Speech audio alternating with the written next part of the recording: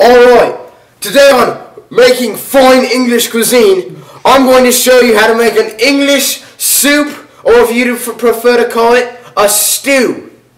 So, your ingredients are going to be turkey. Yum turkey, you love the turkey, it just goes right inside that soup.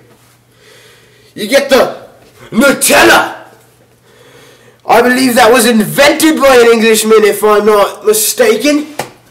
Nice guy, even. I've met him. My V8 Splash with the amazing raspberry on the cover. It's a fantastic drink, but it's going to go in the soup today. You're also going to have some nice sprinkles.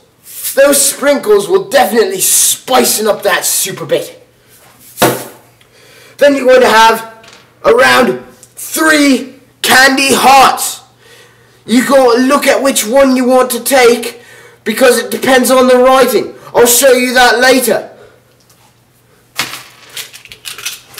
Excel gum, which is very good to freshen your breath, but it adds a bit of chewiness to the soup, so it's going to be fantastic. My favourite ingredient here Lucky Charms. Whole grain because that's more healthy for you than non-whole grain. So you got to get the Lucky Charms whole grain. Aged cheddar. It's a delicious cheddar cheese made by Kraft. But it's not just any cheddar cheese. It's aged cheddar cheese. And my final ingredient, one of the most important ingredients, Sauce Exotic. It's amazing with what they can do with this yogurt of amazing little qualities like the pineapple and the mango. So what's going to happen is you're going to take the V8 juice. This V8 juice will add will be the base of your English soup. So you just got to pour a bit in there just like this. Oh, fantastic. Very delicious. And then you're going to take the Nutella. Now, when you get the Nutella, it's going to be hard to get out of the thing, so you're going to have to have a knife. You grab it just like this, and you smear it off the knife into the V8 juice. Fantastic! Next, you got to grab the Sauce Exotic. This is very tasty and will add that extra kick to your stew. So you just got to plop it in, just like this. No, no,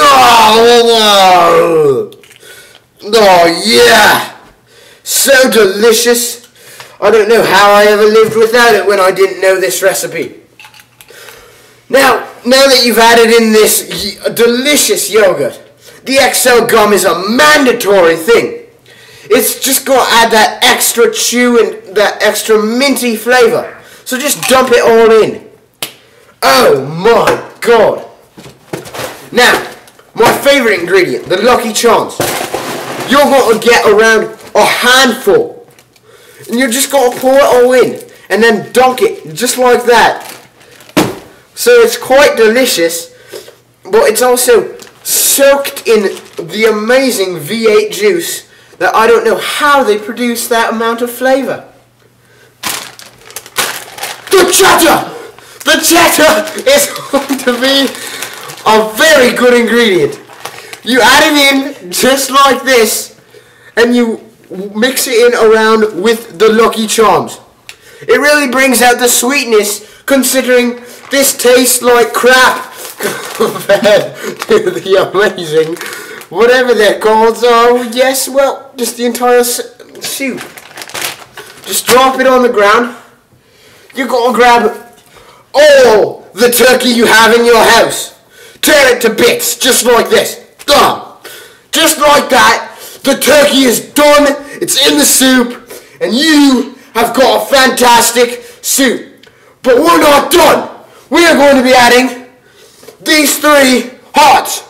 But you have to decide which one you want to take. Do you want the amazing heart, the pink one? The purple one? Or the yellow one? I personally like purple, so I'm just going to plop it right down in there. That is the main ingredient other than the V8 juice because that is the single most important thing you can have in there. The sprinkles! The sprinkles are going to be going in just like this. You want to add it on just like that. And you take your knife just like this. No! And you sprinkle it all in there and start jabbing it up. Quite delicious with the meat and the, the sprinkles and the Nutella and the V8 juice. My God, it's so delicious! Ah, I'm gonna go eat it now. Goodbye.